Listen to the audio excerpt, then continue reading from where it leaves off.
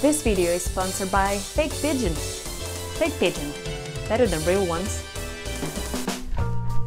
Hi everyone, my name is Marija and you might know me from Instagram where I've been posting a lot of my works over the past several years. Things like tiny watercolor paintings and some larger ones. But also other bits and bobs like digital illustration, photography, embroidery, little sculptures that I sometimes put in the street to photograph. Occasional comics and just little illustrated stories about my daily life here in London and abroad. That's back when we could travel actually. The reason this video is happening is that a while ago already I promised to answer a lot of your questions about um, illustration, art in general, work process and stuff like that. I finally come around to doing it. See what's first in the agenda. Favorite art materials.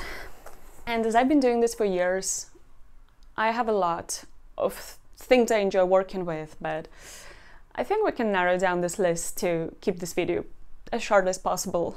Let's start with my favorite watercolor paper. 300 GSM uh, cold pressed paper from British, I believe, art material shop that sells this and texture and thickness of it are the best things ever.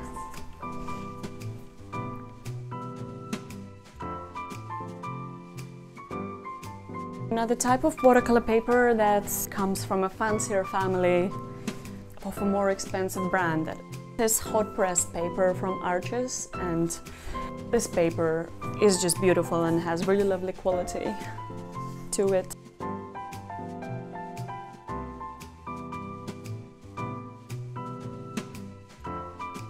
Finally something very very different. This was a present from my friend who brought it from France I believe and it's very rough handmade watercolor paper.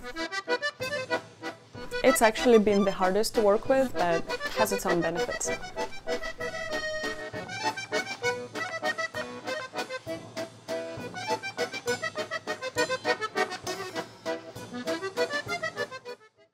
And for someone who enjoys working with small format, the postcard size is just perfect for watercolor and it already has this lovely setup at the back in case you just want to pop it in the mail once you're finished. The paper is amazing and it's really just a pleasure to paint on it.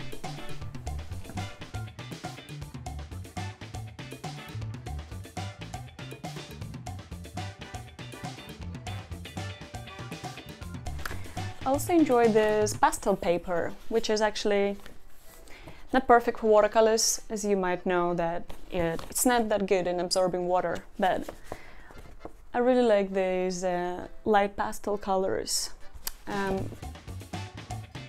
gives a really nice tint to something you're working on. Just don't use too much water on these ones.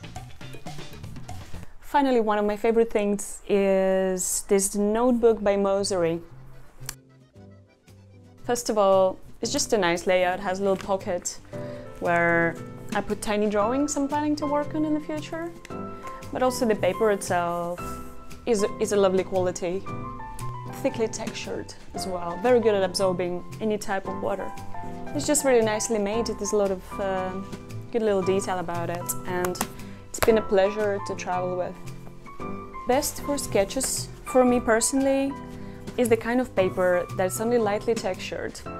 It's not too thick or not too thin, perfect for notes and sketches and it can even hold a little bit of watercolor in which makes it really good to keep as a sketchbook just for note taking or create little drawings in it that you might later use for bigger works.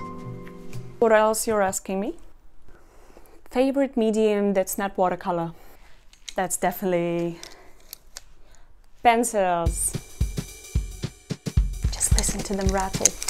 Pencils are awesome, paper loves them, I love them, it's really easy to control. I like to have my razors as soft as possible, like these two colorful guys from my trip to China. They are super soft, which helps me make sure paper doesn't get damaged every time I erase the pencil. And keeping your paper intact is very important for watercolor paintings. One of the nicest sensations you can experience as a human artist is that sensation of sharpening a pencil and then applying it to some nicely textured paper. Mm. That's just good. This person asks, what is your least favorite art medium to work with? Good question. Oil. Mm-mm. It's just it's just fucking hard. I have no idea what to do with it. It's so different from what I'm used to. And every time I work with these, I actually just wanted to never paint again.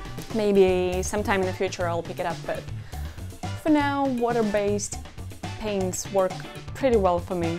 Another question I have here is the brushes I use the most.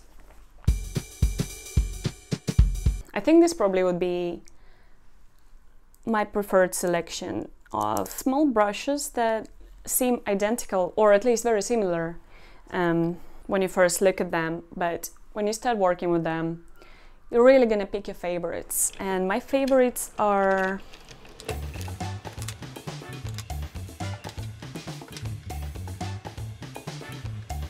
I think I probably normally paint with the same three brushes and I find it to be the perfect, perfect trio of tools.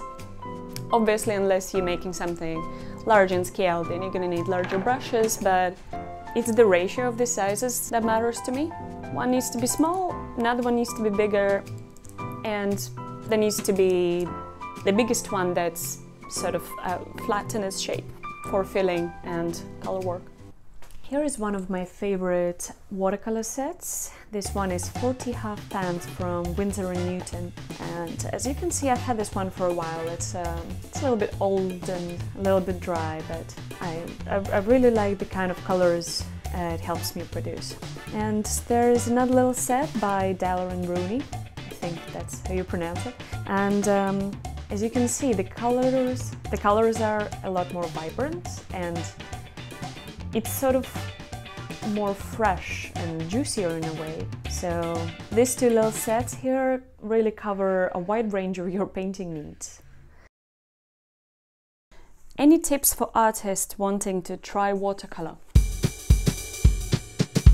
The main tip would be it's not the cheapest medium, right? Watercolor can get really expensive and I wouldn't go crazy and invest a lot of money into best brushes, best paper, and best paints, because there's really no ceiling to how expensive those things can get. I would definitely not buy cheapest paper. You need to know that your paper can really hold the water in your paints and it depends on whether you want to use um, wet watercolor or drier watercolor or anything else on that paper really. You need to trust your paper and be like, I know this bad boy is gonna survive pretty much anything. So yeah, get nice paper, get a couple of brushes of different sizes and just go for it. Try using more water, using less water. Just don't rush it and get a feeling of it. Everyone's gonna find their own way and only by giving it a try and experimenting and having a feel of your materials is going to help you find your own way and trust me it's definitely going to be absolutely worth it Alright guys, it was nice meeting you and I hope you enjoyed this little sesh. Thanks for watching and stay creative.